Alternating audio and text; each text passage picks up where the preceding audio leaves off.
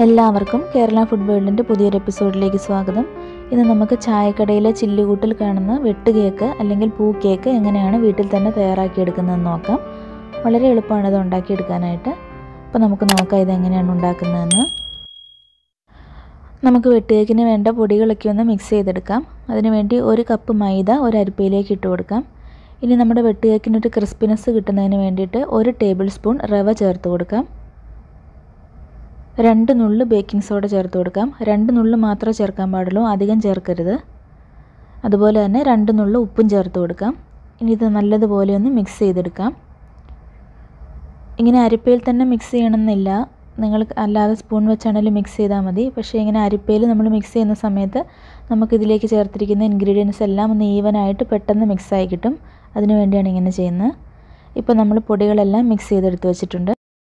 ഒരു മിക്സിയുടെ ജാറിലേക്ക് അര കപ്പ് പഞ്ചസാര ചേർത്ത് കൊടുക്കാം. അര കപ്പ് ഫുള്ളായിട്ട് എടുത്തിട്ടില്ല. കുറച്ച് കുറവാണ് എടുത്തിരിക്കുന്നത്. നല്ല മധുരം വേണമെങ്കിൽ അര കപ്പ് ഫുള്ളായിട്ട് എടുക്കാം. ആറ് ഏലക്ക. തൊലി കളഞ്ഞ ശേഷം കുരു മാത്രമായിട്ട് എടുത്തിരിക്കുന്നതാണിത്. ഈ ഏലക്കയും പഞ്ചസാരയും കൂടി നമുക്ക് നല്ലതുപോലെ പൊടിച്ചെടുക്കണം. ഏലക്കയും പഞ്ചസാരയും നല്ലപോലെ പൊടിച്ചെടുത്തിട്ടുണ്ട്. ഇനി ഇതിലേക്ക് ഒരു മുട്ട ചേർത്ത് കൊടുക്കാം. ഇതിലേക്ക് രണ്ട് ടേബിൾ സ്പൂൺ സൺഫ്ലവർ ഓയിലും കൂടെ ചേർത്ത് കൊടുത്ത് നല്ലതുപോലെ ഒന്ന് അടിച്ചെടുക്കണം. നിങ്ങൾക്ക് ഞാനിപ്പോൾ ഇതിലേക്ക് കളറൊന്നും ചേർക്കുന്നില്ല. നിങ്ങൾക്ക് വെട്ട് കേക്കിന് നല്ല കളർ വേണമെന്നുണ്ടെങ്കിൽ ഈ സമയത്ത് യെല്ലോ ഫുഡ് കളർ ചേർത്ത് കൊടുത്താൽ മതി. നമ്മൾ വീട്ടിലൊക്കെ ഉണ്ടാക്കുമ്പോൾ അങ്ങനെ കളർ ചേർക്കണമെന്നൊന്നുമില്ല. ടേസ്റ്റിനൊന്നും ഒരു വ്യത്യാസവും വരില്ല. ഞാനിപ്പോൾ ഇവിടെ കളർ ചേർക്കാതെയാണ് ഉണ്ടാക്കുന്നത്. മിക്സ് ചെയ്ത് വെച്ചിരിക്കുന്ന പൊടിയിലേക്ക് ഈ കൂട്ട് ചേർത്ത് കൊടുത്ത് നല്ലതുപോലെ ഒന്ന് കുഴച്ചെടുക്കാം. ചപ്പാത്തി പരുവത്തിൽ നല്ല സോഫ്റ്റായിട്ട് കുഴച്ചെടുക്കണം.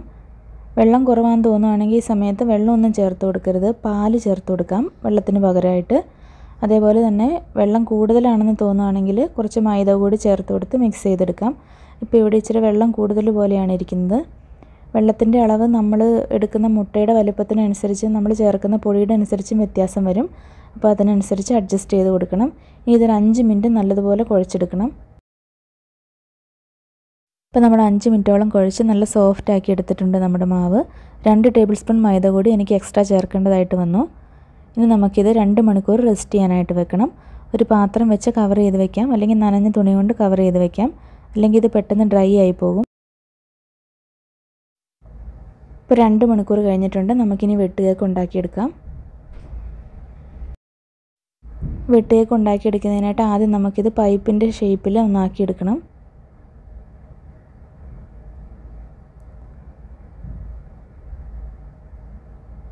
ഒരേ കനത്തിലാക്കി എടുക്കാനായിട്ട് ശ്രദ്ധിക്കണം.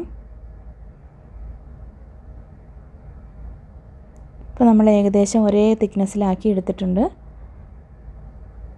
നമുക്ക് എല്ലാ മാവും ഇതുപോലെ ആക്കിയെടുക്കാം.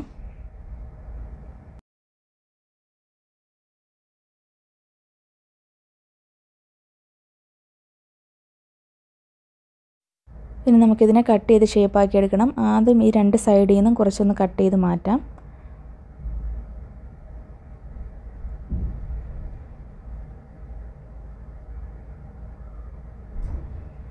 ഇനി നമുക്കിത് ഈക്വൽ പാർട്സായിട്ട് കട്ട് ചെയ്തെടുക്കുക. നിങ്ങൾ എന്തോരം വലിപ്പമുള്ള വെട്ട് കേക്കാണോ ഉണ്ടാക്കാൻ ഉദ്ദേശിക്കുന്ന ആ ഒരു വലിപ്പത്തിൽ കട്ട് ചെയ്തെടുക്കാം.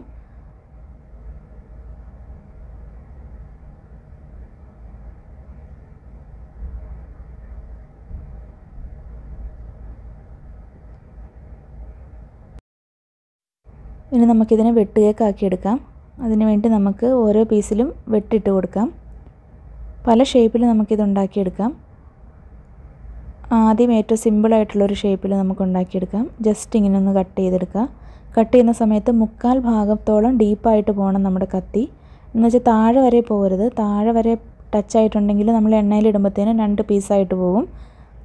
മുക്കാൽ ഭാഗം ആക്കി കട്ട് ചെയ്യാൻ ശ്രദ്ധിക്കുക. ഇനി അടുത്ത വേറൊരു ഷേപ്പിൽ നമുക്ക് കട്ട് ചെയ്യാം.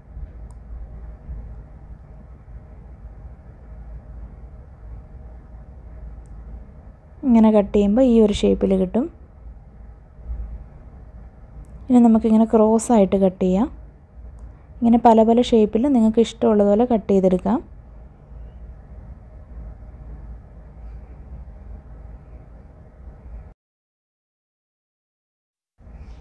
ഇനി നമുക്ക് പൂ പോലെ ഒരു ഷേപ്പിൽ ഉണ്ടാക്കിയെടുക്കാം. ഇങ്ങനെ ക്രോസ് ആയിട്ട് കട്ട് ചെയ്യുക. അതിനുശേഷം നടുക്കൂടെ ഒന്നുകൂടി ഇങ്ങനെ കട്ട് ചെയ്യുക. അപ്പോൾ ഈ ഒരു ഷേപ്പിൽ കിട്ടും.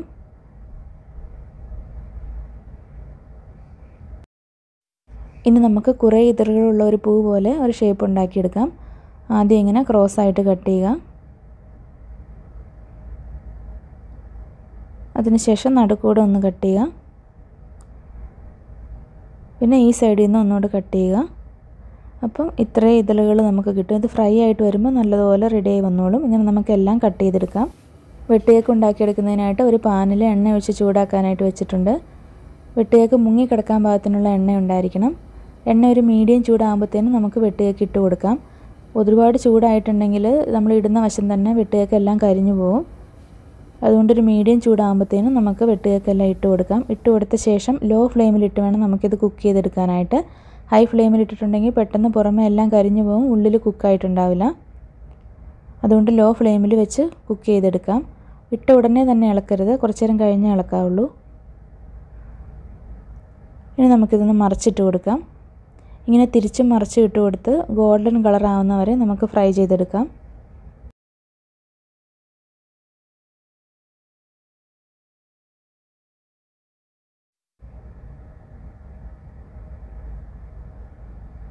ഇപ്പോൾ നമ്മുടെ വെട്ടുകേക്കെല്ലാം നല്ലതുപോലെ ഫ്രൈ ആയി റെഡിയായി വന്നിട്ടുണ്ട്. നമുക്കിനി ഇത് എണ്ണയിൽ നിന്ന് കോരി മാറ്റാം. ഇങ്ങനെ നമുക്ക് എല്ലാ വെട്ടുകേക്കും ഉണ്ടാക്കിയെടുക്കാം. അപ്പോൾ ചായക്കടയിൽ നിന്നൊക്കെ കിട്ടുന്ന പോലെയുള്ള നല്ല നാടൻ വെട്ടുകേക്ക് ഇവിടെ അടിപൊളിയായിട്ട് റെഡിയായി വന്നിട്ടുണ്ട്. ചില സ്ഥലങ്ങളിൽ ഇതിന് പൂക്കേക്കെന്നും പറയാറുണ്ട്.